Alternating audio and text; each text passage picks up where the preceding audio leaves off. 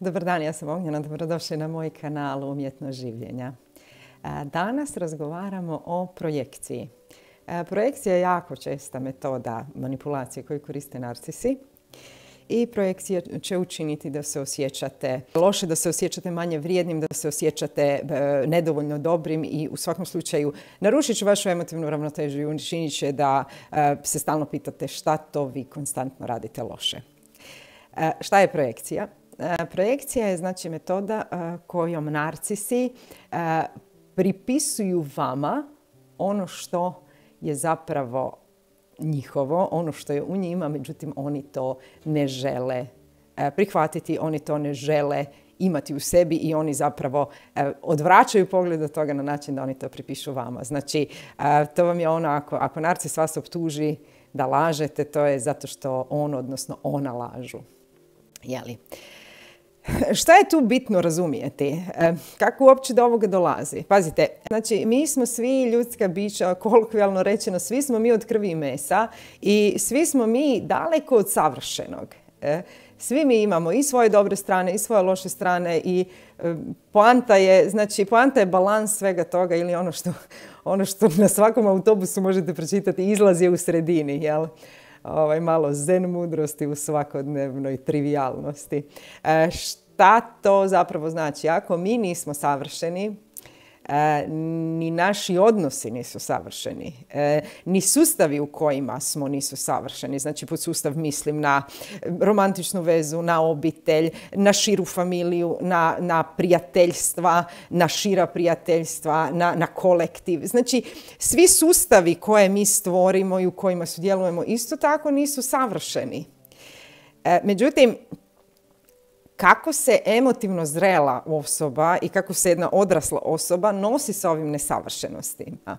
E, pa na način da e, ih nastoji izgladiti, e, nastoji naći zajednički interes, nastoji naći rješenje koje će biti prihvatljivo za sve i zapravo nesavršenosti koje mogu dovesti i do nekih kritičnih situacija će jednu emotivno zdravu i zrelu osobu navesti na preispitivanje, e, na preispitivanje vlastitih očekivanja, na preispitivanje čak vlastitih postupaka, vlastitog karaktera, vlastitog pristupa stvarima i e, poanta u svemu ovome jest da e, čovjek prizna znači svoj dio, uvjetno rečeno, jel, krivnje, znači prizna i sebi i drugima da nije savršena, odnosno savršena i nađe načina, znači, e, doći do rješenja koje je, e, koje je konstruktivno, jel?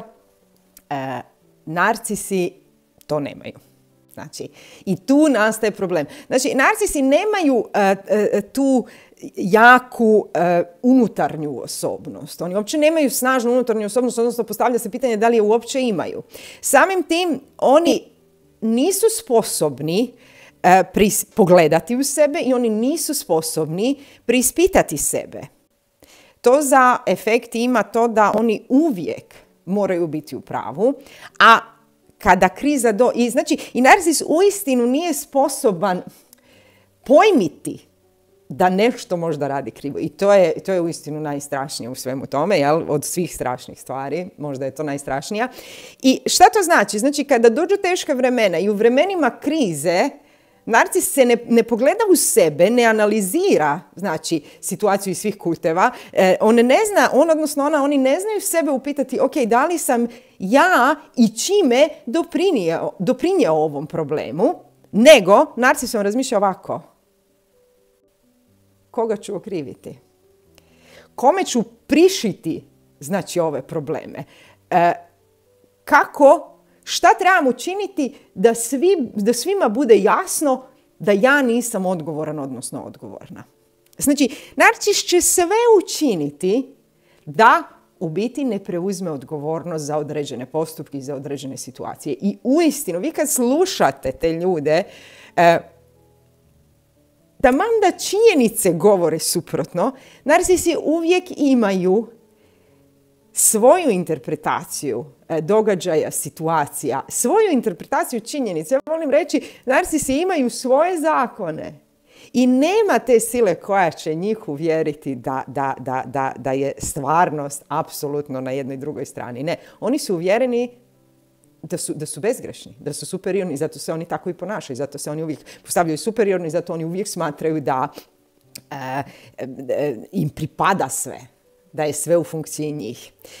E, kako ne bi prihvatio, znači u, u, situaciji krize, znači kako, kako narcis ne bi prihvatio odgovornost, samim tim narcis uvijek mora imati žrtveno janje, i na to žrtveno janje narcis će napraviti projekciju. Znači, sve ono što se loše dogodilo, taman da je narcis izazvao većinu toga, će, narcis će to prišiti tom žrtvenom janjenu, janjetu.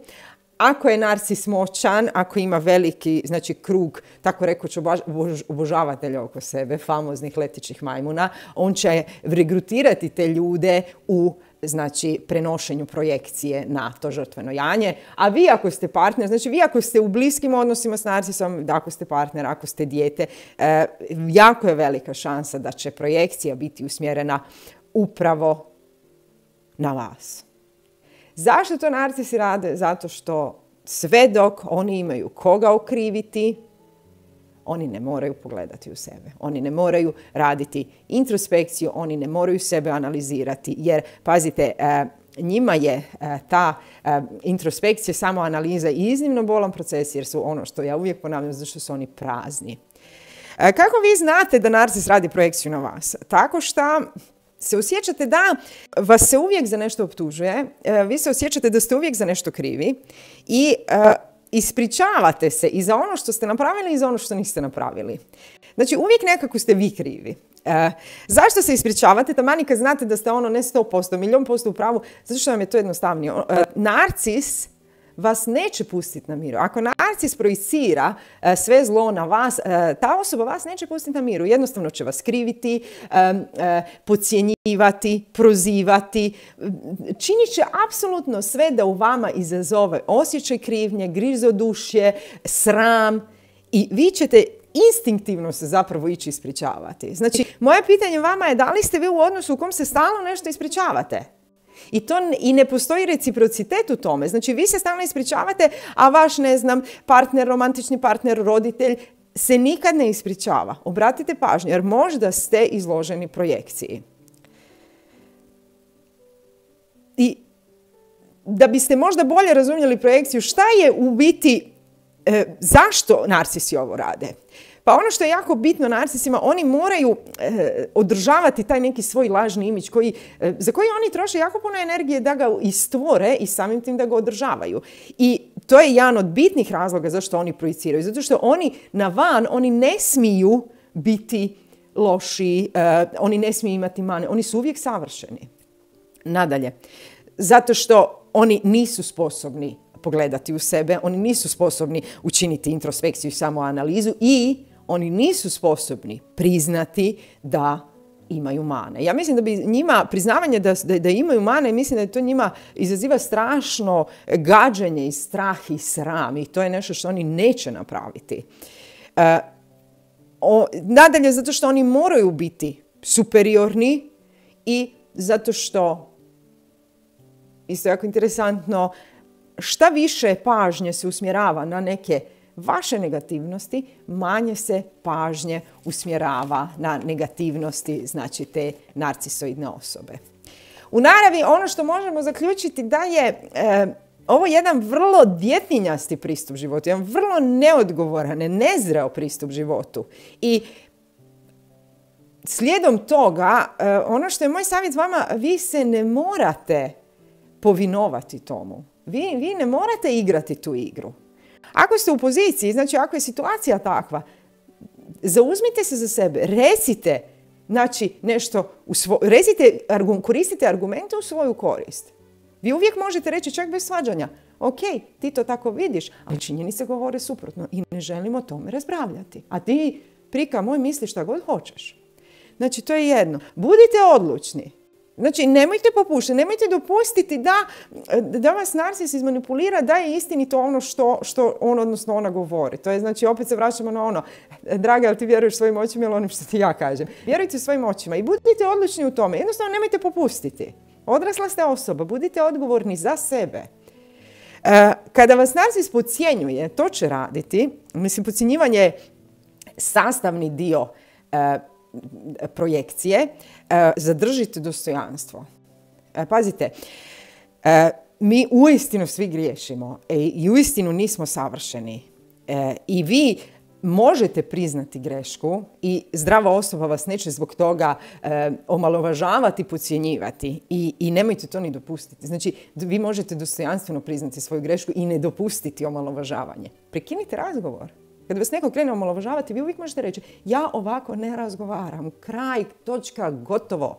I budite svjesni u čemu ste. Znači, šta time želim reći? E, jako je teško e, prekinuti taj odnos s narcisom i e, mi smo jako često, mi smo uvijek zapravo izmanipulirani u tu neku vezanost za te narcise. Međutim, e, budite spremni, znači e, budite spremni kada, ako, kada, ako odnosno kada se dogodi znači, neka, neka teška i ozbiljna kriza, budite spremni nastaviti za svojim životom. Znači, nemojte biti dio tuđih drama.